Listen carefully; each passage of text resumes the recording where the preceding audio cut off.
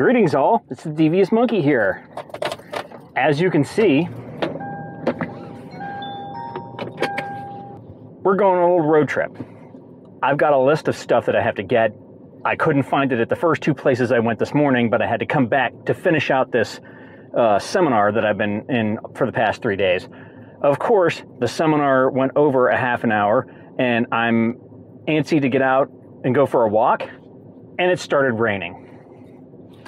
So, rather than whine about that any more than I already have, I'm just going to go and try to get these items that I need to get. Okay, today's topic. There's so many things that are said about time, not having enough time, wish I had more time, I don't have the time, all that kind of stuff. And then you see people telling you, you gotta make the time, you gotta put in the time, you gotta blah, blah, blah, blah, time, time, time, time, time. Okay, when it gets right down to it, there are only 24 hours in a day. In theory, you're supposed to be spending eight of those hours getting a good night's sleep. yeah, fat friggin' chance. I rarely ever see that, and that's fine. That's not what I'm talking about. But let's just, for the sake of argument, say that you get eight hours of sleep. Okay, so now you've got eight hours of your 24 gone sleeping. Leaves you with 16. If you're like any other person you have a job. And usually, and then this is all generalities here because everybody's different. But for the most part, in American society, in the United States, you have to have a job because you need money to pay to live. Most full time jobs are considered eight hours. Now, that's eight hours sitting at your desk or actually doing your job. That doesn't include the half an hour to hour you get for lunch, and it definitely doesn't include the commute to and from work. Everybody's differs. Uh, everybody differs. Okay, but let's just say it's only eight hours. So that means that you've got eight hours of sleep and eight hours of work. There's 16. You've got eight hours left. Eight hours a day. What are you doing with that eight hours? Well, you have to live. So that means you have to get up in the morning. Let's just, and I'm going to be giving you generalities here. You get up in the morning and you got to shower, or you're like me and you shower the night before. Let's just say half an hour. Half an hour to shower, maybe 45 minutes to an hour, depending on what you do. So we're just going to go with an hour to prepare yourself for the day.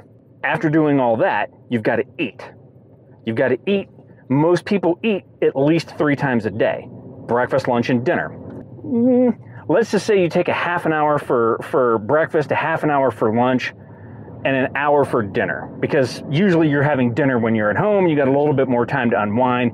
And we're going to throw prep time in there and all that kind of stuff. But we're going to say two hours of that time you're eating. So now you've got six hours left. Okay, now you have to actually do things like grocery shop. Or if you're like me, go to Target every damn day because you can remember all the shit you got to get when you go shopping. So on and so forth. Let's throw that at another hour of doing things like shopping and getting stuff that you need to get to continue living and sleeping and all that shit. Okay, now we're down to five hours. So we get rid of most of people's days of stuff that you can't get away with not doing. All right. Now, do you have a social life? I don't. I don't hang out with anybody. I just do what I do. I hang out with my wife and my cat. Okay. But let's just say, for the sake of argument, that you do have a social life, or you're like me and you have imaginary friends online. So you probably spend a good and I'm I'm being really generously low with this estimate, an hour. I'm only going to give it an hour. 1 hour to email back and forth, to chat, to text. Maybe you're one of those weirdos that actually calls people and you talk on the phone. Okay, so there's another hour. We're down to what? We're down to 4 hours now in your day that's left. Okay, 4 hours left. You have 4 hours You've done everything you need to do to live. You've socialized a bit. You've got four hours left. What do you do with that four hours? Well, now that's what you've got left to create. So hopefully you got your shit together and you've already got stuff planned so that when you grab your cameras, you're ready to go. Now, for me, since I started doing this photography again, I have committed myself to taking one picture a day, editing it, and posting it on my Facebook. Pick of the day. How hard is it to take a picture? Well, it's not that difficult. Depends on where you want to go, what kind of picture you want to get. I was getting a lot of flowers because everything's blooming around here and it's beautiful. I've been doing selfies a few times because I'm the only person I have to shoot with. Okay, things like that. And filming. Now, filming because I'm filming like I am right now. What did I tell you? You might get a 7 to 15 minute video from me. And this is every day because I have posted every single day this year and quite a few last year after I started this. But I'm posting every day this year so far. So taking a picture and filming, that is a minimum of two hours. Just filming and getting the footage and getting, you know, the picture. Now you got to throw in editing.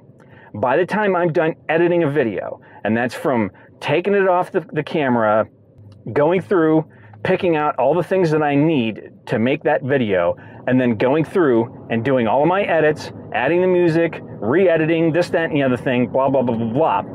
Now you're talking, and again, I'm being generous here, another hour.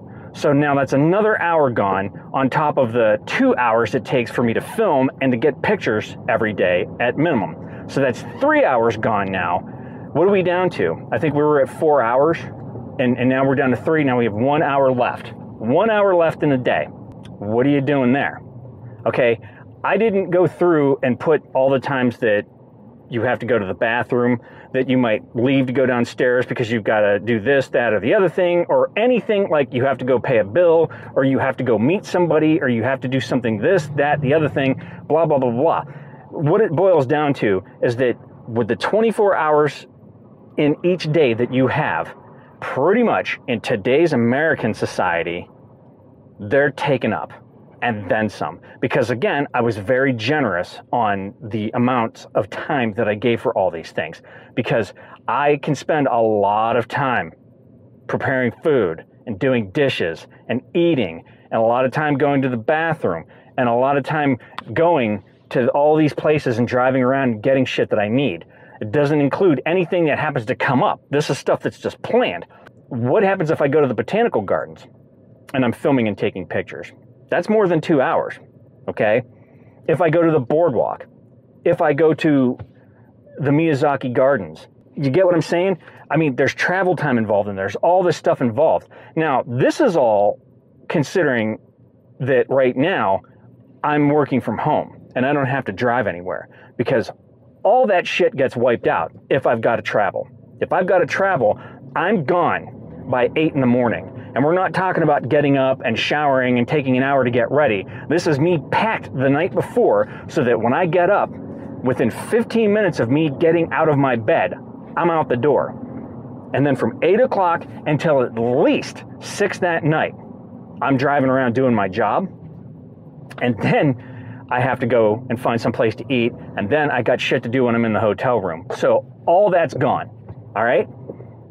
what I'm getting at is that time is very precious.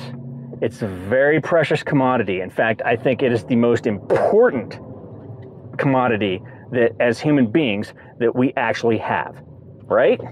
And that's why you always hear me harping on people wasting my time and me not wasting my time on people that waste my time. I mean, do you agree or disagree?